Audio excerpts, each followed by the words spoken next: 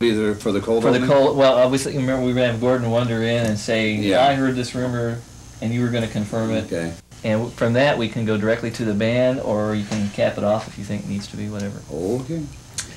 Okay, and then uh, Mark has got the opening music and band vocal. Which is? I'll take you just the way you are.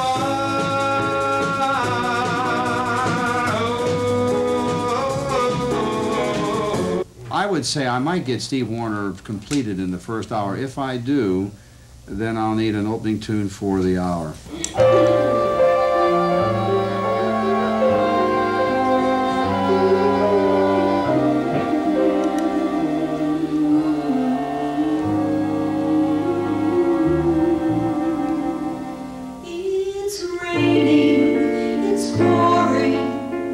It's a routine. Every morning, a production meeting followed by rehearsal.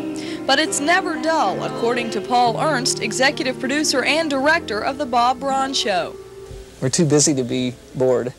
uh, as soon as we is, are done with one day's show, we are working on the finishing touches for the next day's show. The 10 a.m. meeting is the first time that everyone on the staff and the talent see how today's show is going to go. Any questions or problems are ironed out here so that the one rehearsal goes as smoothly and as quickly as possible.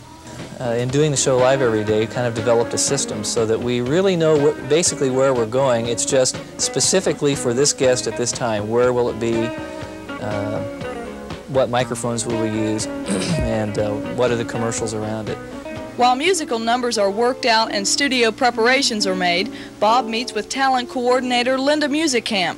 My job is to make Bob look good on the air when I have that last minute, you know, time with him. Okay, you got, you got to find out if Dorothy Hamill is married. Right, And you have to find out uh, uh, Gordon Jump. What's the name of that play? You know? California Suite. Oh, okay. And he's through Beef and Boards through May the 31st. Okay. Then he's not going to Indianapolis, though. I'll, I'll double check, but I think he did. I think he's coming. right. I think he's coming from Indianapolis. He might just be on hiatus, too. I'll check. Okay. I'll make sure. Thank you. Thank you. Well, the most important thing to do is to read the biographies of your guests and find out what they're about.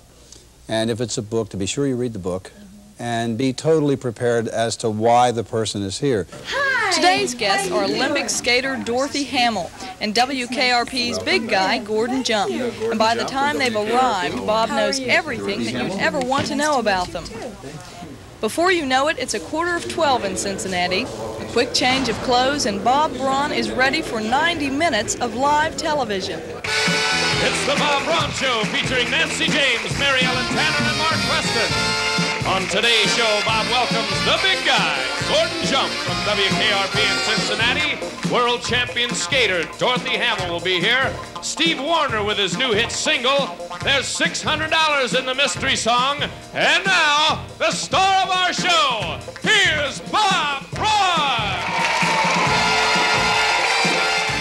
Surprisingly, now is when the real pressure begins because while Bob is live in the studio, Paul is above in the control room.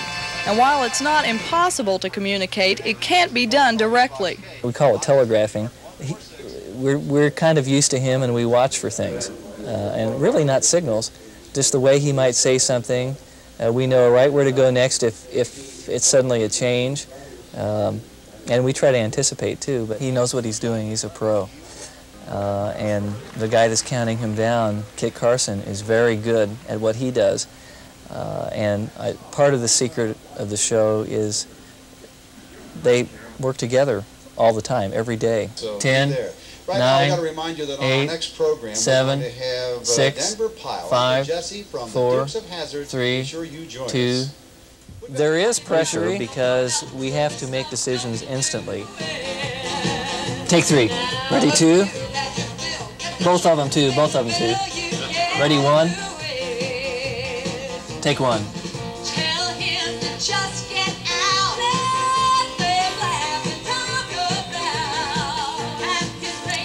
We're on uh, both for a while. It can be a great big wide shot, too.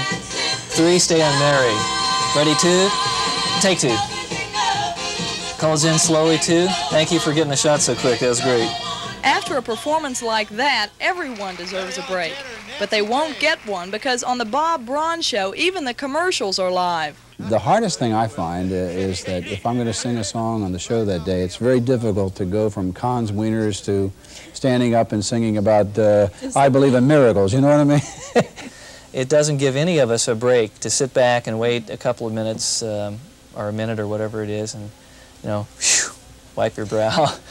Despite all the headaches, heartaches, and cups of coffee it takes to put the show on the air, for these people, live television is what it's all about. There's always those last minute problems at midnight the day before or 5 of 12 the day of, but um, it seems to always carry itself off. I mean, you know, we can't beat Bob. I mean, you got Bob as a host.